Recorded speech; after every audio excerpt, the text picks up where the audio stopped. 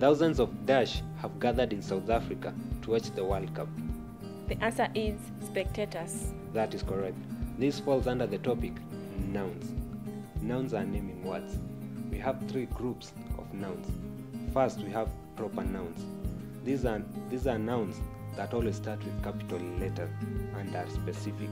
For example, we have Nairobi, Kamau, Omondi, and Alliance. Secondly, we have common nouns. Examples of common nouns are man, woman, and sheep. Thirdly, we have collective nouns. These are nouns that represent a group of things or items. An example is a herd of cattle or fruits, which means apples, bananas, mangoes, and pineapples.